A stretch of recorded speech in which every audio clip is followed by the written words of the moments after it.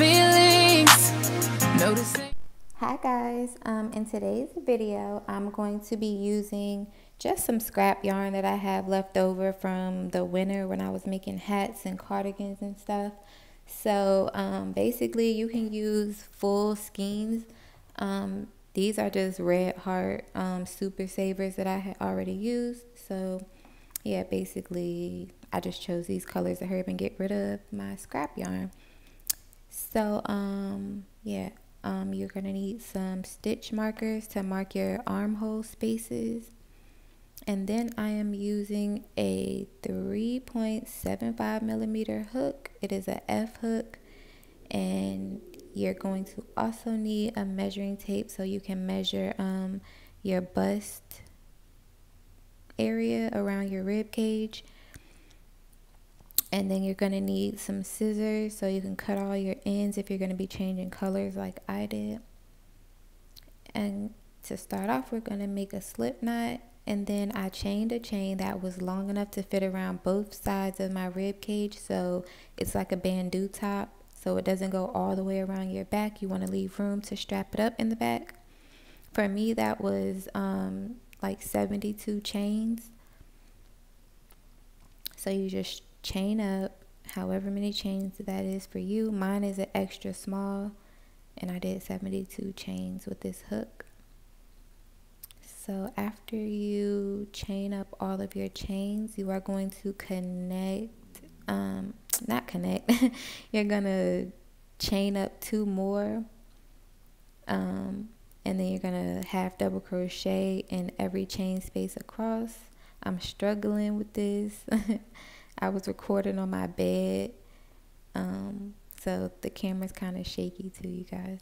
So yeah, you have double crochet into your last chain that you chained besides those two chains that you added. If you added, I did it so I can have the chain spaces on the ends for when I want to make my um the spaces for the lace up in the back so yeah, you have double crochet in every chain space across until you get to the end.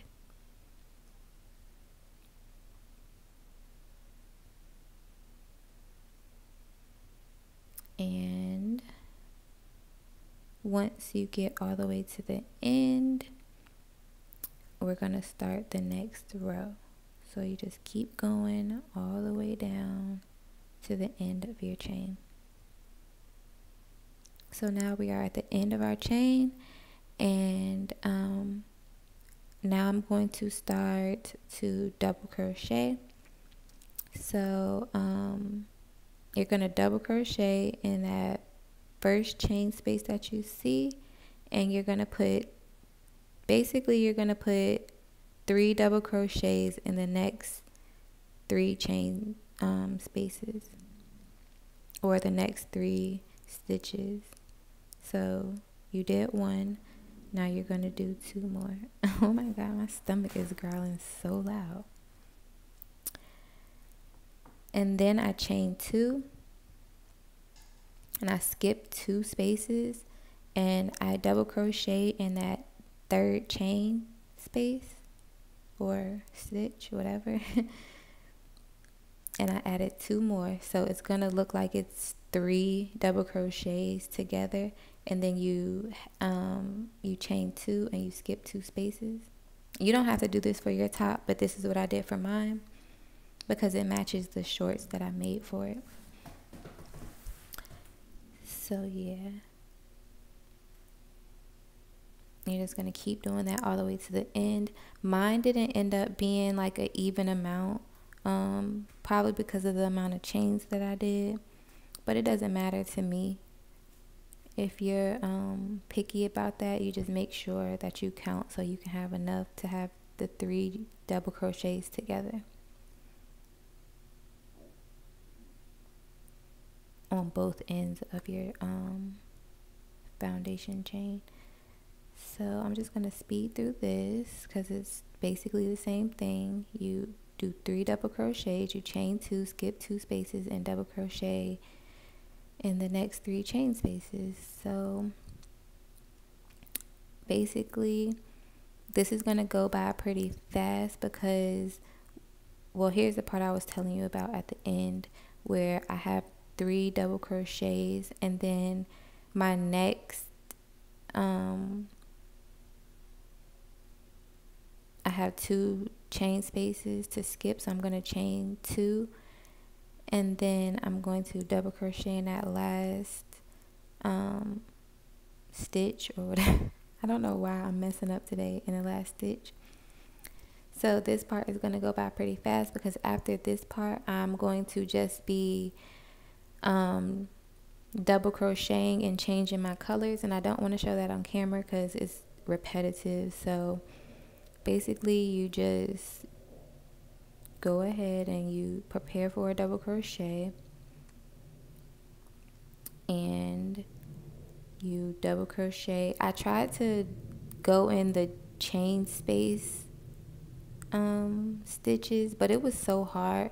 So after this first one that I was struggling to get in I just looped it around in the chain spaces. I just didn't have time for it. so as you can see here, I'm just going to go through that space and double crochet. And then I'm going to double crochet on top of the previous three double crochets of the previous row. And then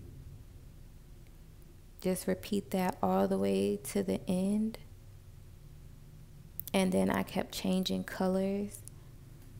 But if you're not going to change colors, it doesn't matter. You just keep going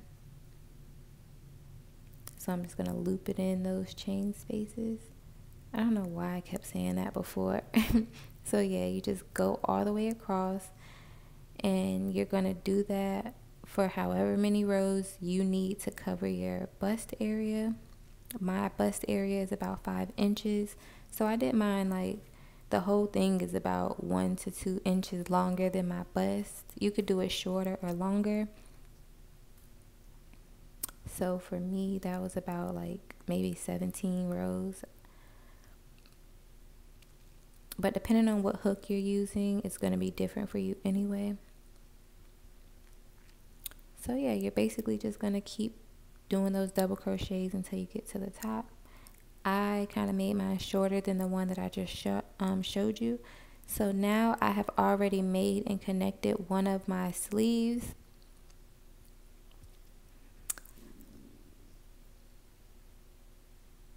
as you can see here I made it and I connected it to the sides. And so now we're going to go ahead and make the sleeve for the other side.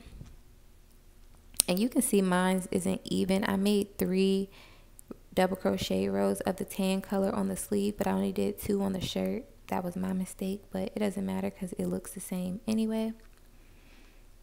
So yeah now right here, I have um, counted some spaces um, from the edge. That was 10 spaces. And in the middle, I counted over to, um, I counted over 11 spaces. So however many that is for you, just put it up to your arms and you'll be able to tell. So now I'm just chaining up a chain long enough to wrap around my arm. For me, that was 35 chains and then you're just gonna connect it in a circle. Slip stitch it. I'm sorry guys. I'm doing a bad job at explaining but I'm so tired and I'm hungry.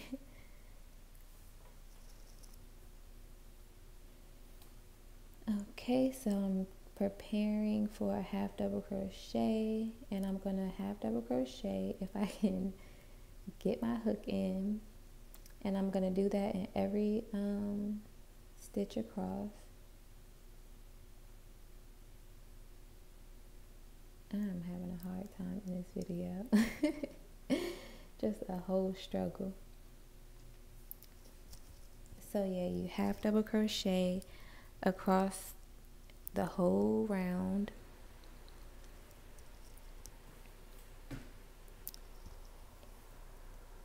And after that you chain two and you double crochet for however many rows you want to double crochet I did about five rows, five rows.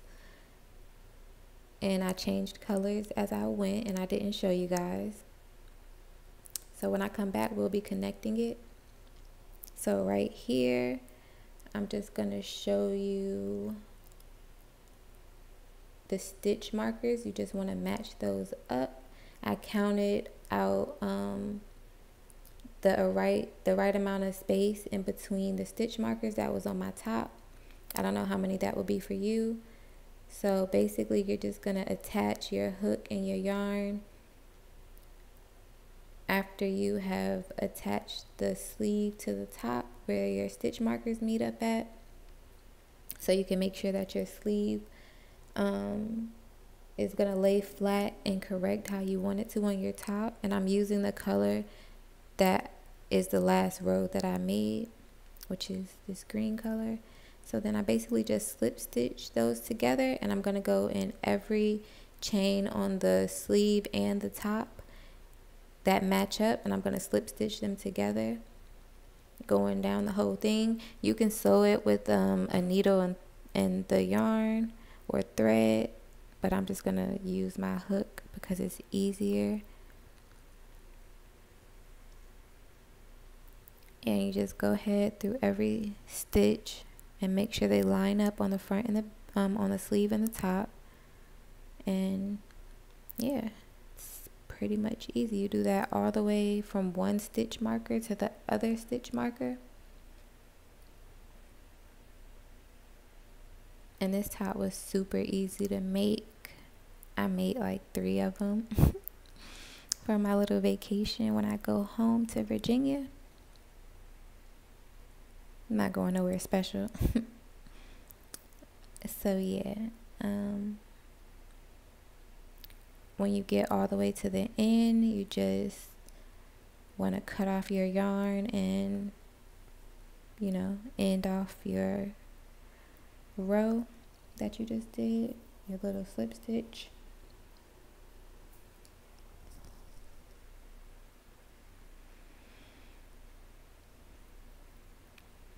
I was snatching those stitch markers out.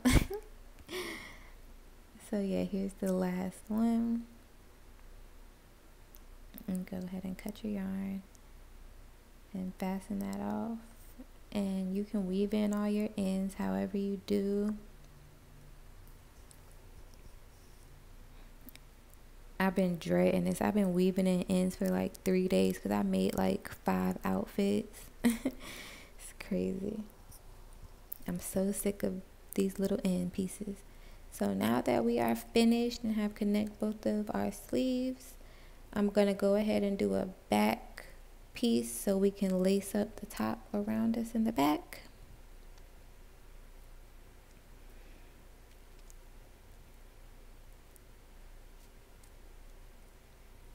And right here is where you can see where the double crochet spaces are.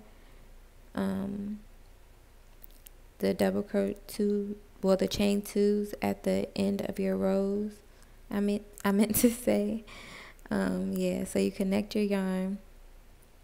And then I chained four. And in those chain two spaces that I was talking about I'm just gonna double crochet into each one on the end of every row to create like a mesh row so I can lace up the top you can do however many rows you want. Um, I just needed one and I did that all the way across both sides. I was just messing up. Make no sense.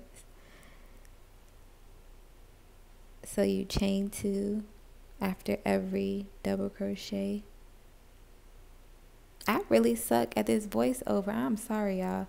After every double crochet, you chain two. So I, you just double crochet, you chain two, double crochet into the chain two space, chain two, and then double crochet.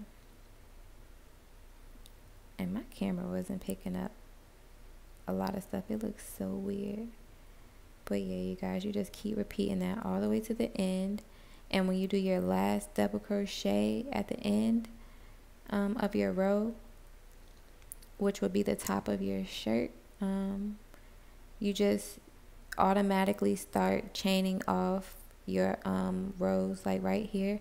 I'm just chaining up a chain of 200 for my straps in the back so you don't have to connect your yarn. So I did that to the other side. You can go back down those chains um, with a slip stitch or a half, I mean, a single crochet, but I didn't.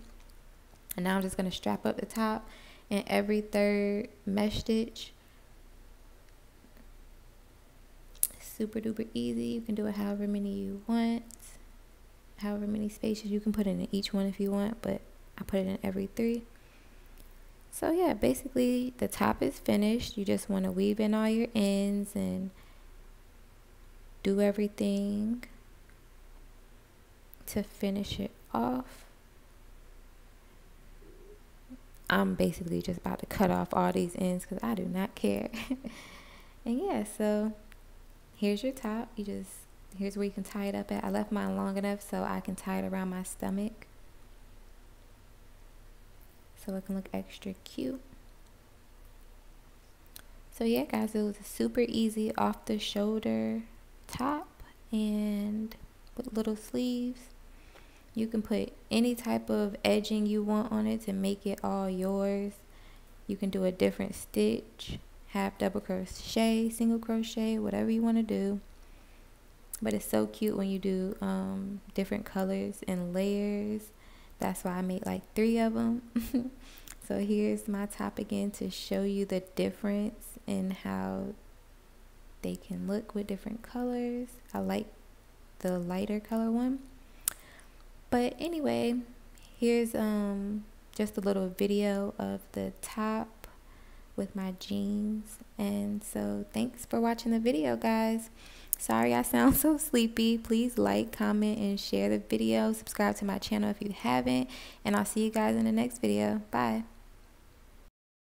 I may be young, but I'm ready to give you up.